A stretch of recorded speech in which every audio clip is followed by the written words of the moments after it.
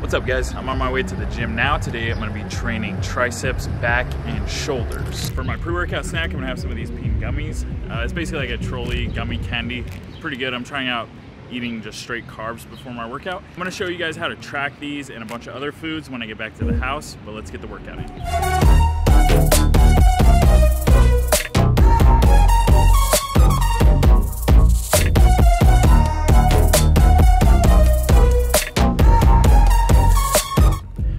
Show you guys how to track your macros. But first I think we should talk about if you should track your macros or not. Depending on how much weight you have to lose, you might not have to start tracking your macros right away. You might be able to just clean up your diet a little bit, cut back on the soda, snacks, chips, candy, things like that, and you should be able to lose weight just by eating like a bit healthier uh, fruits, vegetables, high protein sources. You should be able to lose body fat. As you get leaner and leaner, eventually you're gonna have to start tracking eventually. I'm at the point where I probably need to use a food scale. These are pretty cheap. You can pick them up um, at Amazon. Here in Georgia, you can buy them like at an electronics store. Uh, it's about like 30 or 40 lari. Um, in the US, they're probably like 20 to 30 dollars. Um, they last a long time though. I always make sure to get one that uses double or triple A batteries. This one, it was the only one I could find. It uses like a C 2032 battery. They're like the tiny ones. They're kind of hard to find. Um, so if you can pick one up with AA batteries or AAA batteries, it's a lot better. For tracking your macros, you're going to want to download an app. When I was in the United States, I like to use MyFitnessPal. It's pretty user friendly, and the database was huge, so you could pretty much scan any food, and it would pop up like anything in a package. You could just scan the barcode, and it would pop up in the app, and you just plug in how much you ate of that. Unfortunately, a lot of the features now are all included in the premium version which the premium version costs $19 a month or $80 a year. It makes it a lot easier. I have my own app that I use that for my coaching clients, um, so I just use that. Um, the database isn't as big as MyFitnessPal. I was going to show you guys how to scan these peen gummies. Um, these are the candy that I ate before my workout. When I click to scan a barcode, I have to sign up for premium. So if you had a premium, you could just scan this and it would pop up peen gummies. Since I don't have the premium, what we're going to do is just go add a food, type in pin gummy, Trolli, and it should pop up in the database. Yep, there we go. So 100 grams is a whole bag. So it's, let's see, that would be 4 grams of protein, 78 grams of carbs, and basically zero fat. So I'm going to add that to my log. So now that right now, guys, I added in my food from earlier, and I had some matsoni, some toast with peanut butter, jam. Um, I had a dark chocolate wafer bar, um, a protein bar, ricotta. I do have a bit of a sweet tooth, which is why I don't really follow a meal plan. I just like to track my macros and kind of eat what I want as I go throughout the day. Um, in order to see like what my totals are at for the day, I'll just click right here on the food and you can see I'm at 70 grams of protein, 39 grams of fat, and 243 grams of carbs. So my daily goal is 200 grams of protein, uh, about 60, 65 grams of fat, and 250 grams of carbs. Keep in mind those are my macros. Your macros are going to be different.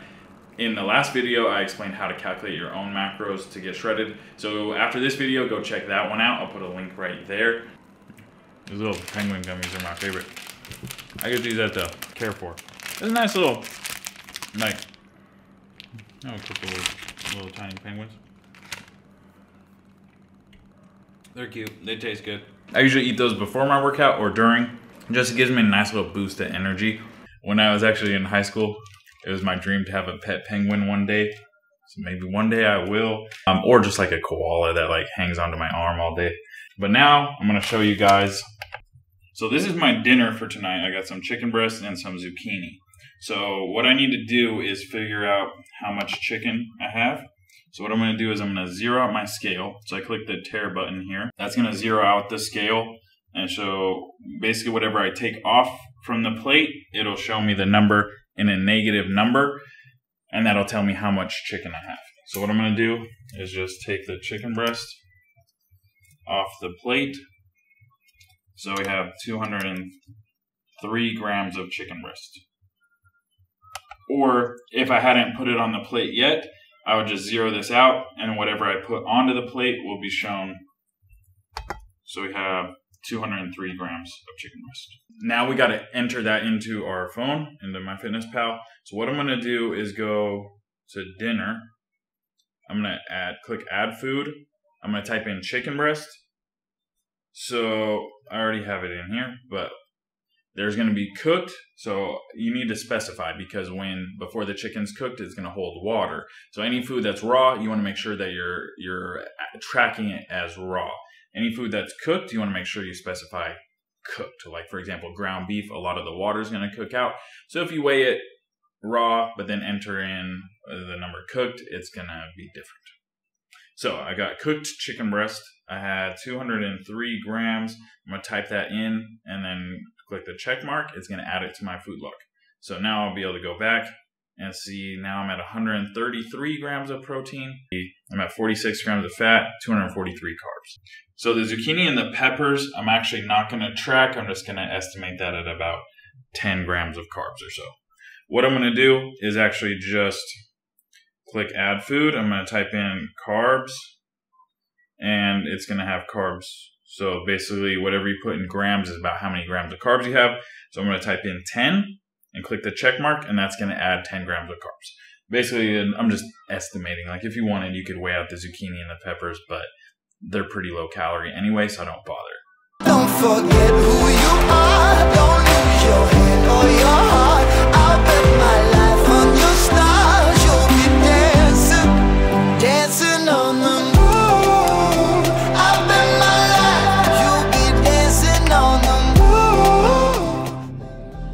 end the day, guys, I got six egg whites right here. I'm gonna have one of these Serek keys. This is like cottage cheese from Poland. It's got 22 grams of protein, 10 grams of fat, and like 4 carb. Super solid macros. And then I'm also gonna have one of these Profil protein snacks, mango and vanilla, 18 grams of protein.